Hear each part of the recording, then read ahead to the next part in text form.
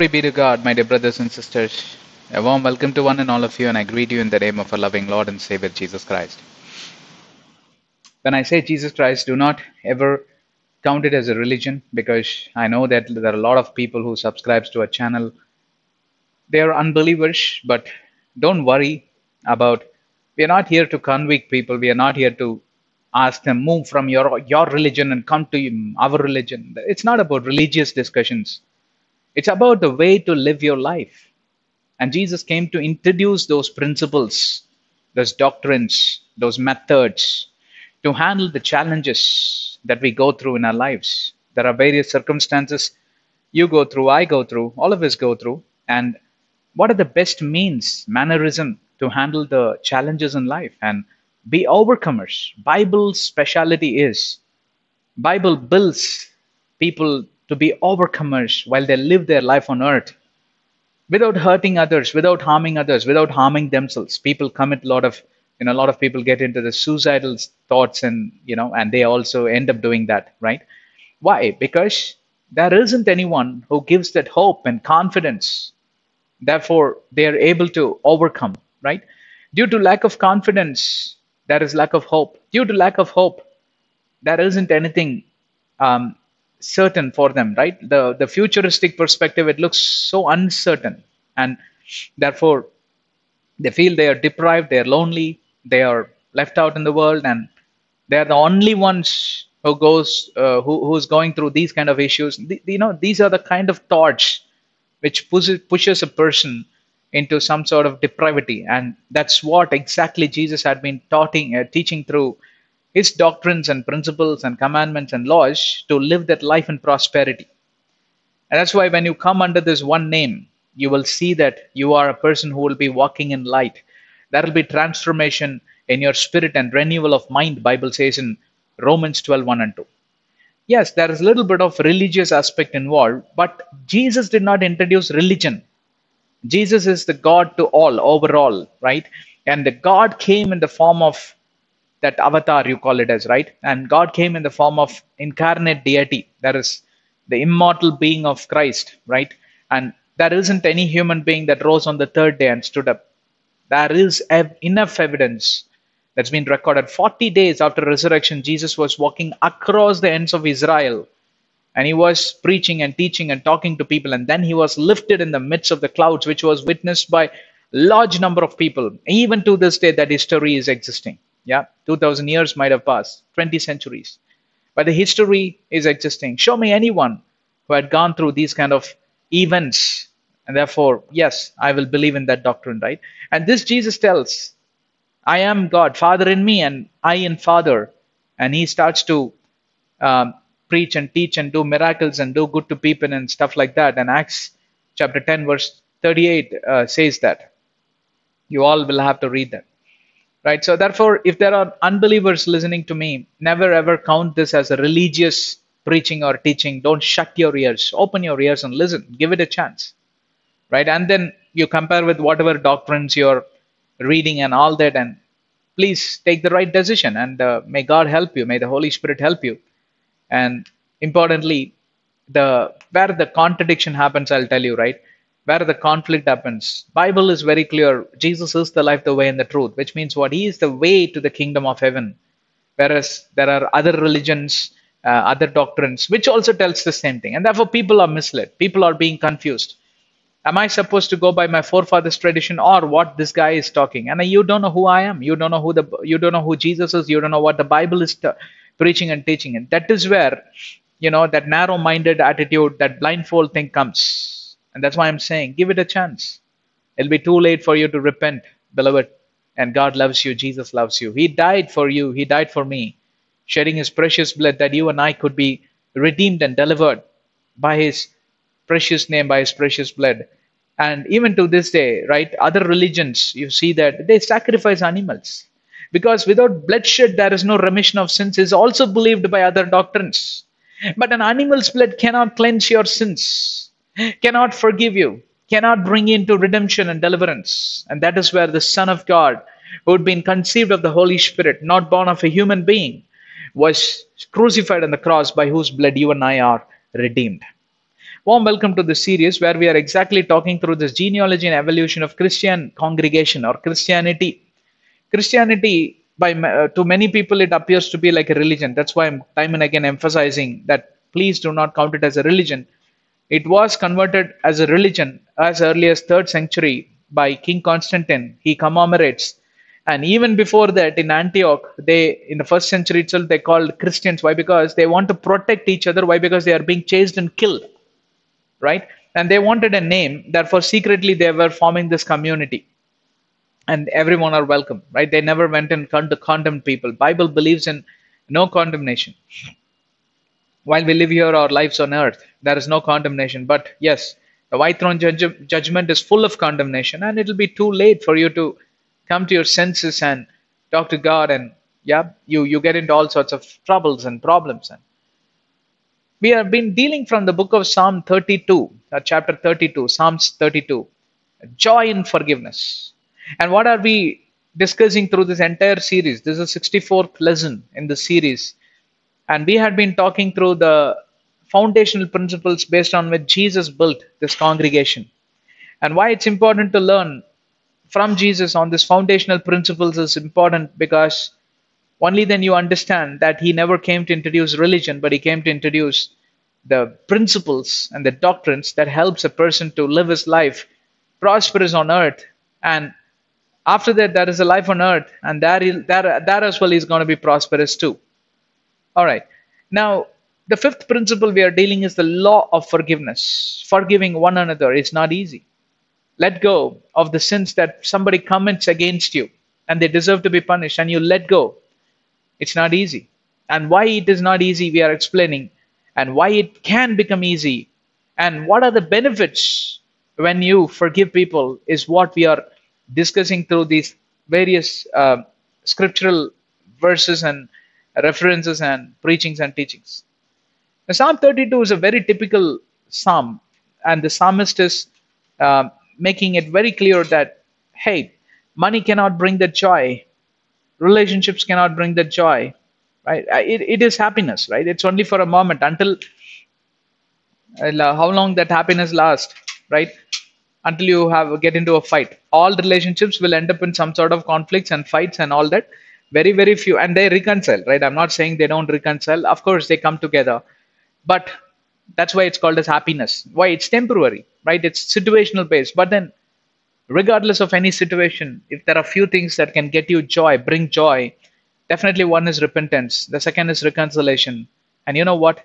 Forgiveness is also one of those. There are few things that I want to list, but this is not the time and session. But joy is not situational based, regardless of situation, regardless of anything you get, good or bad, regardless of you you get it or don't get it, no problem. Yeah, you will be always having that joy, which is the extremity of happiness. Happiness is expected to be wiped off when a situation changes when relationship changes when somebody says no to you when you want to you know be with them or stay in touch with them and stuff like that. When they say no to you and we discussed from psalm 32 verses 1 2 and 3 we are done and i'm trying to finish it because i have many other things to discuss right and it's going to be a very very detailed discussion why because i will tell you the whole christianity or Christian congregation or the principles of Christ are forgiveness centric. You know that? It, it somehow, you know, intersects there. Why? Because forgiveness is like a, um, it's like a Venn diagram, you can call it as, right? It's the center portion. that center circle is forgiveness.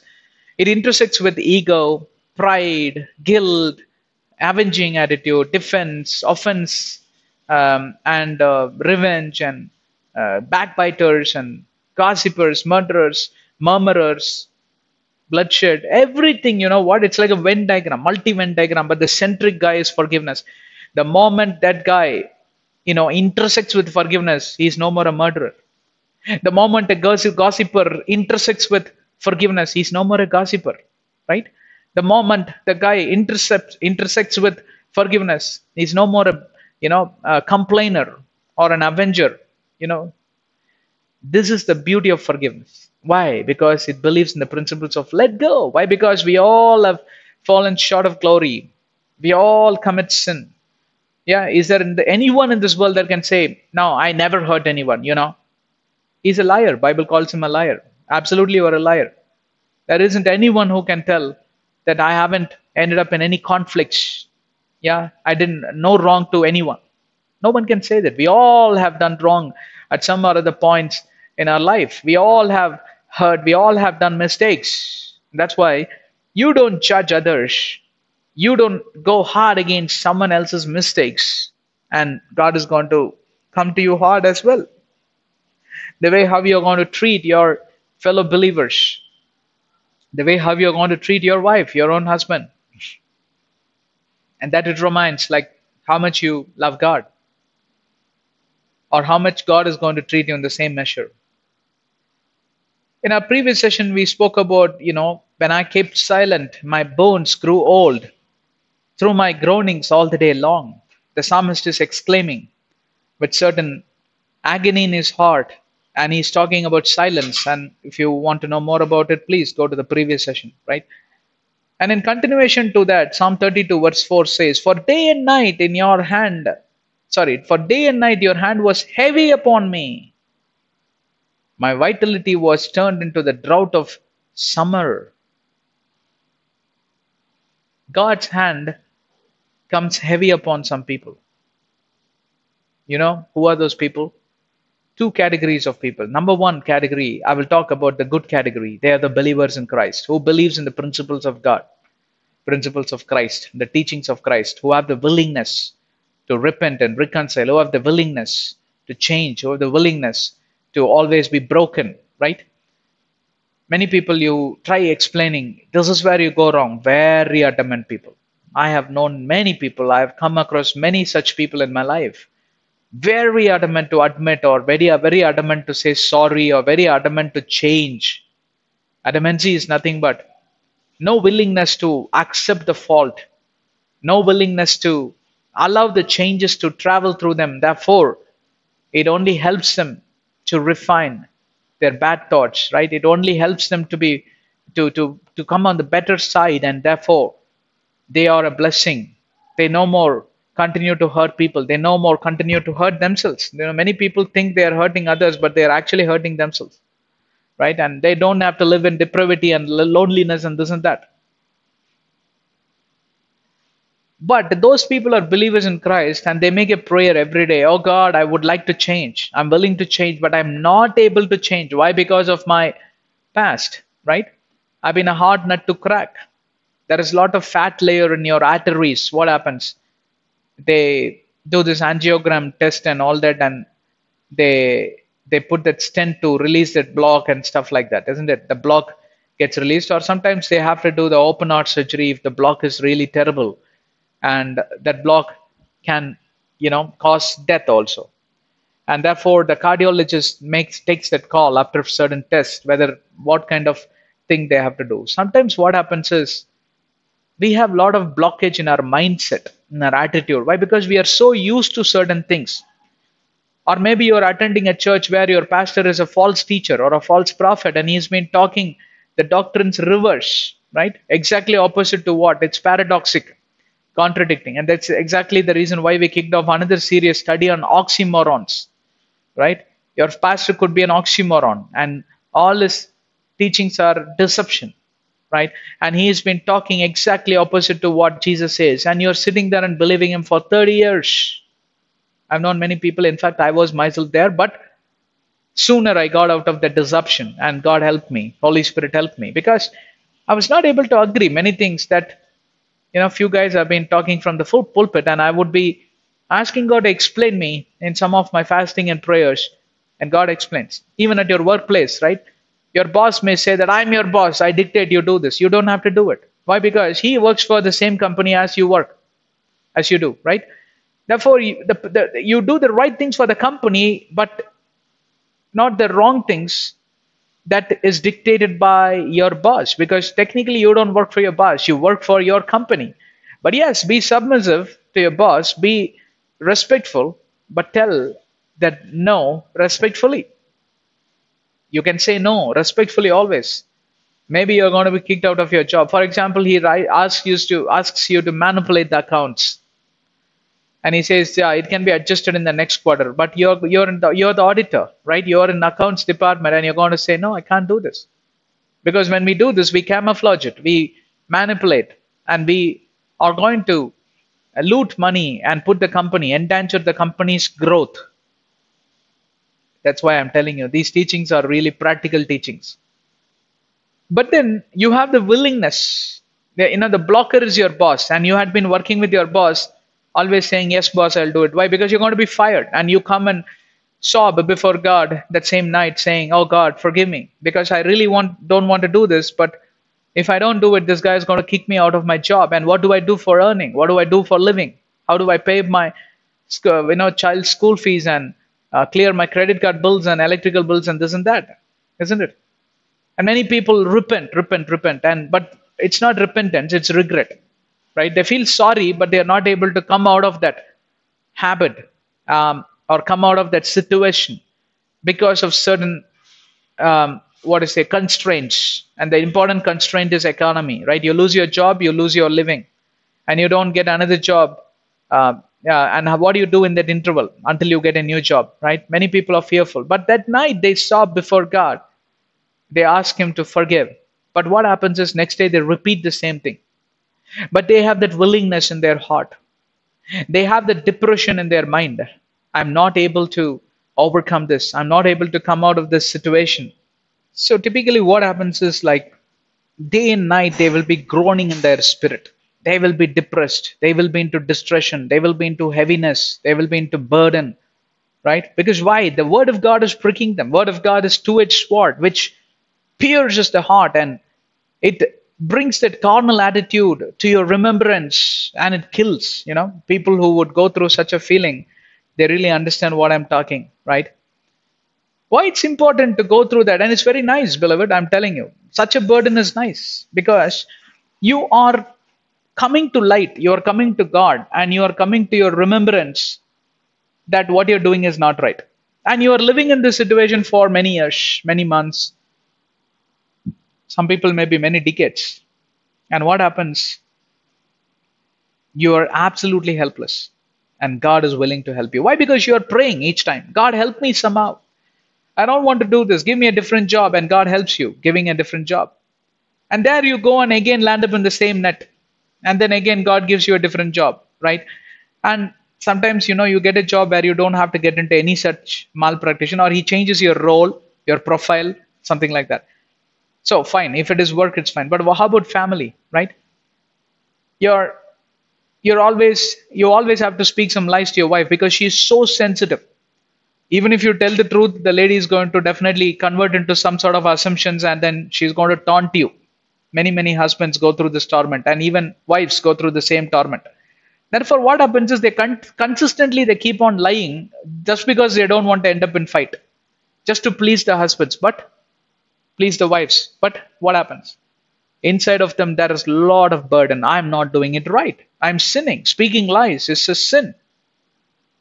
I'm just giving you a few examples, right, to get you some facts, some doctrines, or what to say, some. I, it's about facts, right? It's a fact-based discussion. And then at some point of time, you come to God and you ask Him, "How long am I supposed to live like this, God?" Right? And help me here. I don't want to do this by, but I end up doing this. Therefore, God comes heavy upon you but then he's not going to punish you but he's going to redeem you. That's why i'm separating into two categories. First category of people are good category people. He's going to change the situation. Probably he's going to change the heart of your mind heart of your husband's mind heart of your wife's mind or the heart of your boss. And he's going to make a way and perhaps they they, they start to appreciate you saying that no what you're doing is right. I was wrong and all that. You know god can change the hearts of even the kings you know. Bible says that so it's not a big deal for God to change somebody's mind and get you that lib- uh, lib- liberty or liberalize you and uh, free you from that bondage, isn't it? This is the first category. That God comes heavy upon the situation, not upon you. Heavy upon the circumstance or heavy upon your opponent. The, the, the what is it? Pharaoh guy gets warned in a dream. Hey, that is Abraham's wife. Do not lay your hand. Isn't it? Likewise, many people are want of dreams and they would not go against their adversaries. Rather, they would say, Please, your, your God is powerful and I don't want to touch you. You know, God can do anything. He's wonderful God, He's miracle working God. That's a beautiful song, right? He's a miracle working God. He's a miracle working God. He's the miracle, He's the wonder, He's the miracle working God. He's the prayer answering God, He's the prayer answering God. He's a miracle, He's a wonder, He's a miracle working God. Wonderful song, wonderful song, right? When you sing that song, you got to think this one thing in your mind that God is limitless. Many people limit God's power, and their prayer is also somehow positioned that way. Oh God, I understand the situation is so big, not sure how you're going to handle it. Please don't do that mistake with God. It's like calling God a liar and a, you're challenging his powers and capabilities. He's a supreme God. He's supernatural God. He's the God over the universe. And there is nothing that is impossible. With men it is impossible, but with God all things are possible. If God is for you, who can stand against you? Bible says in Romans 8:31 and Matthew 19:26. Some people, especially I'm talking about the believers, right? They limit God, saying that, oh, God, I don't know how you are going to handle this. You need any help. they, they're almost willing to offer some help to God. Please, yeah if you if you if you're capable to help god then why can't you help yourself and come out of that situation? Yeah? You're helpless. You say that god i'm helpless. I'm unwilling to be in this situation. I'm unwilling to speak lies like these. I'm unwilling to camouflage and manipulate these accounts. I want your help. Full stop. Stop there and end the prayer and walk out of the room. It's enough. God heard you. Walk out of the room with that confidence that my God heard me. My God heard me. He says, My ears have never become heavy for your prayers, my hands will never be shortened. I am the Lord who will help you. My right hand will hold you firmly, and I will not let you fall. Isaiah 41 13 says that. Isaiah 59 verses 1 and 2 says that. His ears will never become heavy. Yeah? With that confidence, when you consistently pray, God is going to work in, in, in His time, in His season. Sometimes he works instantaneously. Sometimes he replies after a year. Sometimes he replies after a week. It depends. And God is in control. Have that confidence. And I've heard multiple testimonies where people come and tell, you know, confessing, saying that God worked miraculously and I was saved. Right? All right. The second category of people, you know, who are they? They are also believers. But the difference, I'll tell you. They know that they are wrong, but they would never confess that before God or men. They would hide it secretly, bury it secretly right under their heart. The, the bottom portion of their heart have these sedimented secrets. Yeah? Yeah, because they enjoy that sin. Ah, they enjoy that pornography. They enjoy that, yeah, um, that, that manipulation. They enjoy that uh, bribery. They en- enjoy this. They enjoy that. Why? Because they love to be on the devil's side. And they love to be luxurious. They love to always be rich. They love to always never mind where the money is coming from. I'm giving my uh, tithe and offering regularly brother. Yeah that's the money of blood. Who needs that money? You think god is running short of resources that he needs your help? There are a lot of people right belonging to other religion. They make their gods and goddesses as their business partners and therefore what happens is they will loot around money. Uh, i mean they loot a lot of money they cheat people and gain up money. And they'll say 50% i give it to god therefore i am free of sin. Really? Really? Your god appreciates that money of blood? And that's not god that's devil. Sorry.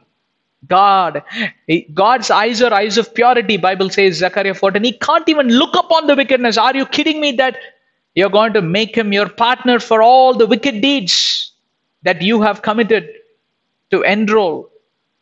Are you kidding me that your uh, God needs that money of blood? You cheat people, you kill people, and you make him a partner and say the 50% money to God, and they go and basically, you know, drop that money in that offering bag and all that. God says, Money of blood, out of my sight, out of my sight. You wicked servant, throw him into the place of torment. Matthew 24 and Matthew 35, you read. Uh, sorry, Matthew 25, you read. You will know. Matthew, uh, sheep versus goat. I have spoken a series, short series in that. It's in the playlist. Yeah, you're the wicked servant. Your attitude is corrupt. You have gone very, very closer with the devil, but you carry Bible. You carry, you wear that cross around your neck. You go and attend the Sunday services. You speak, oh, Jesus is my Lord. You see how he blessed me. Jesus did not bless you. This prosperity is not from the heavens, but this is this prosperity is from the devil. And you know what? The devil has powers to bless his people. That's why you will see that the, the, the top ten rich people, they they're. I'm not saying believers aren't rich, okay, but they are very few, very few, like microparticles. Yeah, majority of the rich people, you see them, they worship paganite gods and all that, and you just check the source of money. No, it's not the it's not it's not the money of purity. It's a money of impurity and blood. And god will not accept you. But you go to church and you will testify oh see i got a new car. What was the source of the money brother? Huh? And i will tell you what god still loves you. Why? Because you have been baptized you have been um, you have you have been accepted as the child of God because you accepted the name of Jesus some time ago, right? But you never lived your life according to the doctrines and teachings of Jesus. But you continue to move on, move on, move on, move on. You never look back, you never introspect, or maybe you introspect and you're hiding the truth. You never confess that. Yeah, when you go to God, you always praise Him and worship Him. Some people have you seen? That's a nice technique. They praise and worship God, appreciating, oh God, you're great, oh God of wonders and God of love and compassion, and they say Amen by hallelujah, and they leave the place. Right? You're trying to be a hypocrite, or you are not trying, you are a hypocrite. You're acting before men and God. And what you know God will do, since you have accepted the name of Jesus, He still loves you. And He gives you that second chance, third chance, a millionth chance. And you are not repenting you're hiding the secret. And you know what he does? He comes heavy upon you. Ah. I'll read that verse. For day and night your hand was heavy upon me, the psalmist says. My vitality was turned into the drought of summer. Drought, you know, in the summer seasons you get into drought, no, no water, no agriculture, no food, no harvest. Animals are starving and they are dead. Many people are starving. Three meals are have become one meals now. Yeah. Such will be the situation. And you know what? God will bring the drought in your life. He will take off that job through which you are manipulating and earning that money of blood, huh? money of bribery. Probably he will inflict you with some sickness and disease where you're not able to lie to your wife again. Why? Because you need your wife to take care of you and you will be transformed to that man of truth. you want to play with God, huh? Try it out. Try it out. He's going to forgive you. I'm telling you, He's God of mercy and compassion. His mercies are everlasting. He's bound to compassion, slow to anger. Psalm 145, 8 and 9 says that, right? I agree. Psalm 103, verse 11, Psalm 147, 11 says that He's full of mercies. But there is a limit for His mercy, is what Psalm 103, 9 says that. He will not hold His anger forever, neither will He be tolerant, right? Striving, striving with the spirit of man forever. He won't strive one day will come where he will come heavy upon you and i will tell you what that is good for you. Why? Because he did not walk out of your life. He's still living with you. He's still tolerant. He still loves you and that's why he punishes you. He chastises you. Proverbs 3 and 11 you 3 11 and 12 you take and read. As how a father chastises his son god chastises us and do not despise. Do not despise means what? Don't say no god i don't want punishment. I love my luxury and you know what? God will not come heavy upon you. He will say, Fine, live in luxury here and go to hell there after white throne judgment. And He will walk off your life. And this believer, if he is a good believer or if she is a good believer in Christ, after God inflicts them with that sickness or takes away the job or uh, probably his child has become mischievous and something like that, some problem, the person will repent. Like how David repents when he spoke about Bathsheba's sin, that sin with Bathsheba, and he says, I sinned before God. And he repents, and God blessed his son. Solomon was born after that. That child God God killed, and Solomon was blessed by God, and that's how that that's how he commemorates the temple of God. Huh? You understand? If you're a, if you're a true believer in Christ, after God comes heavy upon you, you're not going to do the same sin again. You're not going to bury that secret right inside your heart again. You're going to confess, repent, reconcile. I taught you three R's, right? Revive, reconcile, repent, and reconcile. Yeah? Revive in revival in spirit, repent for your sins, reconcile with God. Three R's. And God comes heavy upon you. Yeah? It's nice. Let God come heavy upon you. Why? Because only then you have obtained that forgiveness from God. Ultimately, it's connected to the law of forgiveness. Only then you are able to forgive others. Why? Because all these days you were living in dark. You were on the side of the devil, and devil is not going to forgive anyone. He is a destroyer. He's a murderer. He's an avenger. And now your attitude changes. You let go everything that has been hard for you to forgive. And God also forgave you, forgave you. Why? Because you came to your senses. Beloved, you're, you're, you're, you're listening to me or what? You're understanding? These are all interconnected. All right, I want to stop here. We will continue from verse number five, the next session, right? God brings a lot of droughts in your life. And today, if you are in drought, time for you to introspect because there is something wrong that you have done against men and God. Repent, repent. Come to your senses. Ask God to forgive you. Confess. And therefore, God is able to get you on the right side. May God bless us. Heavenly Father, we want to thank you for this wonderful time and opportunity. We appreciate your grace. We appreciate your mercies. Oh Lord, thank you for this beautiful teaching. Thank you, Lord, for helping us to think over it and help us to come to light. In Jesus' name we pray. Amen. God bless you. Subscribe to our channel, get access to all our playlists. Spend time to listen to all of these believers, unbelievers, whoever may be. You're all children of God. God loves you. Jesus loves you. All right. I will meet you soon and continue to remember me. I'm your brother. Yeah, continue to remember me. Continue to remember uh, my ministries and please ask God to lead me in the right direction. Thank you. God bless you.